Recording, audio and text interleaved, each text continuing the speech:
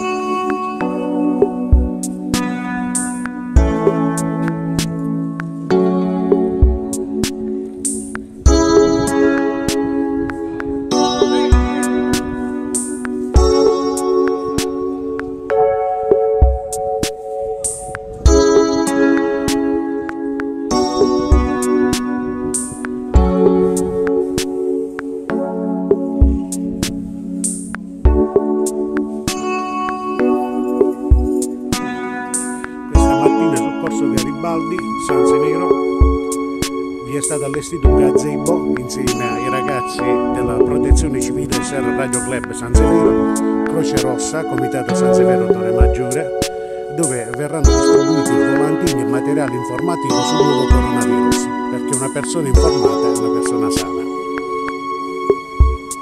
Si ringrazia per questo evento sia l'ASL di San Severo, si ringrazia sia il Comune di San Severo, l'assessore Mario Marchese e vicepresidente del Consiglio di Governacchio per aver aderito in tempi veloci a queste iniziative insieme all'ASL e Regione Puglia.